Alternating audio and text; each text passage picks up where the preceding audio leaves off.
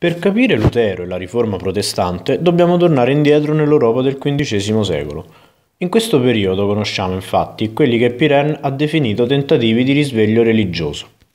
Tra i tanti predicatori che all'epoca invocavano un cambiamento più o meno profondo della vita clericale, ricordiamo in particolar modo Janus in Boemia e John Wycliffe in Inghilterra. Come già successo nel passato, però, la Chiesa reagì con le armi e Janus venne condannato a morte per rogo nel 1415 con l'accusa di eresia. Una parziale riabilitazione della sua figura avvenne nel 1999 ad opera di Papa Giovanni Paolo II, che chiese scusa per la sua ingiusta condanna a morte.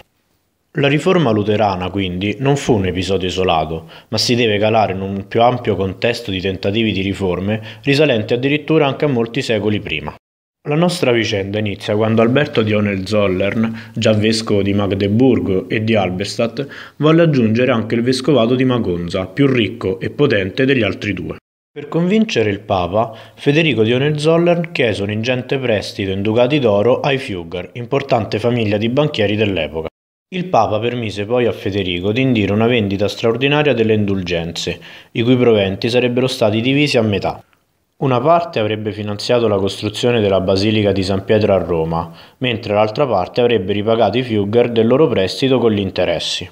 Tutto questo fece infuriare Martin Lutero, piccolo frate agostiniano della campagna tedesca, che il 31 ottobre 1517 affisse l'elenco delle sue tesi, ben 95, sul portone della cattedrale di Wittenberg. Grazie alla stampa, il messaggio di Martin Lutero si diffuse velocemente in tutti i Länder tedeschi arrivando ben presto a Roma.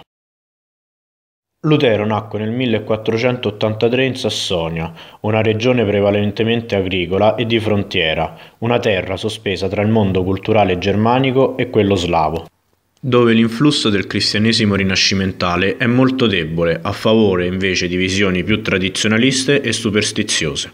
Lutero quindi nasce e cresce in un mondo culturalmente arretrato, intriso di ideali religiosi medievali. Nemmeno la vita monastica spesa nel monastero di Erfurt alleviò le pene del giovane frate agostiniano. La complessa personalità di Martin Lutero è uno dei tanti motivi che non ci permette ancora oggi di spiegare chiaramente che cosa è stata la riforma luterana. Numerose sono infatti le interpretazioni possibili. Convocato alla Dieta di Worms del 1521 per abiurare 40 tesi ritenute eretiche, Martin Lutero si rifiutò di farlo.